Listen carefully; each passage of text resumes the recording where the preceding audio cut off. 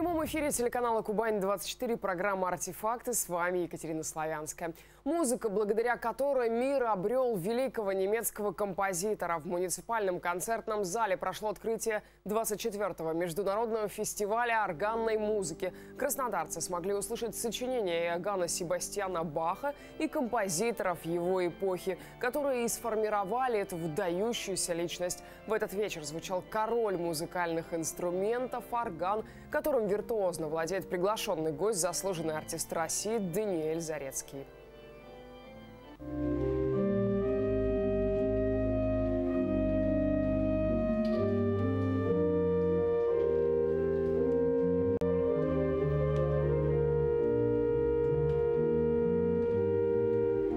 Это как раз тот инструмент, на котором, в общем-то, можно полностью раскрыть всю эту музыку, потому что сама эта фирма органостроительная Рудольф фон Беккерат, она после войны, особенно первые там 10-20 лет, отличалась тем, что строила подобие как бы органов баховского времени – Девушки с арбузами, нежные цветочные натюрморты, щедрые пейзажи кубанской земли. Все это многообразие можно увидеть в одном проекте под названием «Мой край родной», посвященном 80-летию образования Краснодарского края и 25-летию Краснодарской краевой общественной организации «Товарищество кубанских художников».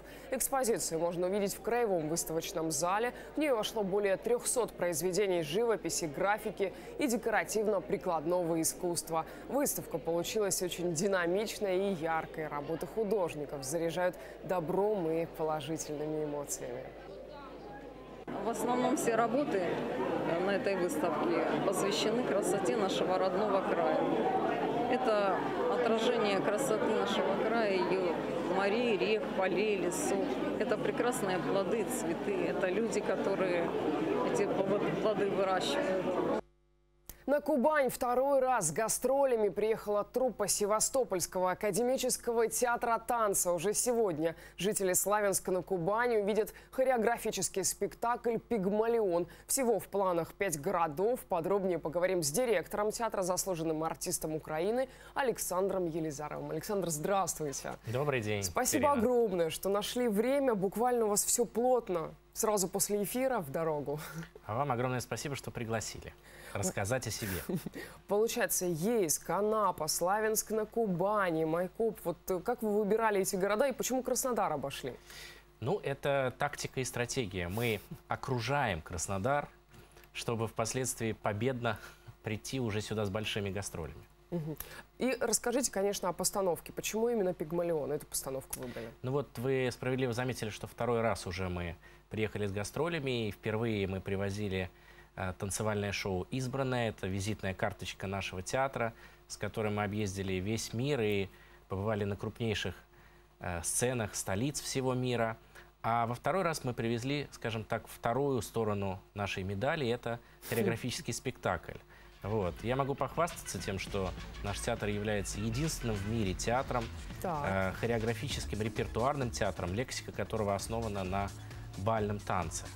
Вот. И это один из любимых спектаклей создателя нашего театра Вадима Альбертовича Елизарова, имени которого сегодня, имя которого носит сегодня наш театр.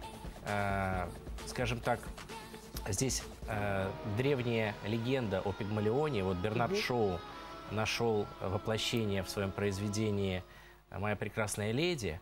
Вот. А Вадим Альбертович, он нашел свое хореографическое решение – в нашей версии два учителя бальных танцев, придя на современную дискотеку и увидев девушку, которая в совершенстве владеет современными направлениями, такими как хип-хоп, вакинг, дансхолл, они заключают пари, что они смогут э, из нее сделать великолепную танцовщицу бального танца.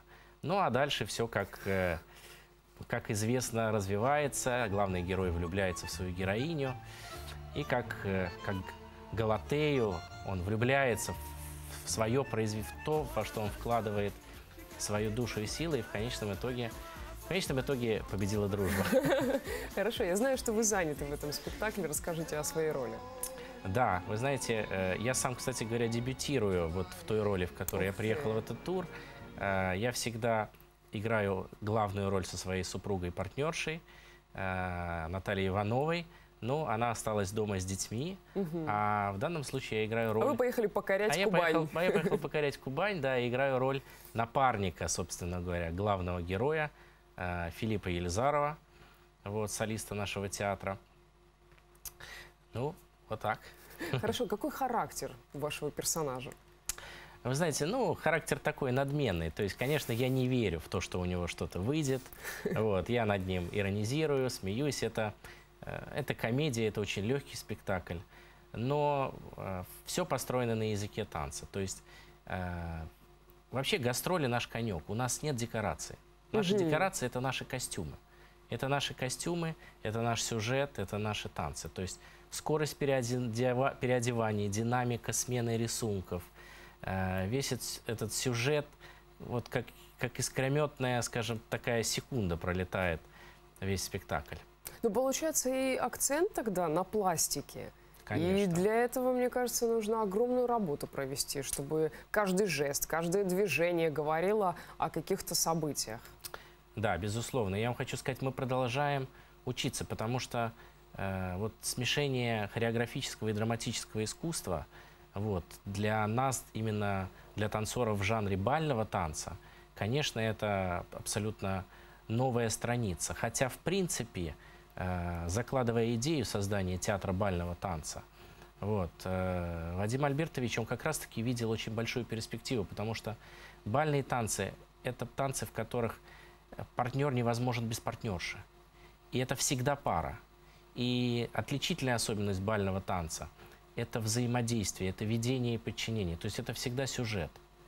И, конечно, сюжет о любви, сюжет о взаимоотношении мужч- мужчины и женщины через пластику бального танца, мне кажется, раскрывает этот сюжет абсолютно по-новому. Хорошо, ну расскажите о том, как формируется репертуарная политика у вас в театре. Э, 18 лет нашему театру. Более э, 12 спектаклей и танцевальных шоу э, есть в нашем репертуаре, а также огромное количество детских сказок, которые мы э, играем летом и на новогоднюю кампанию.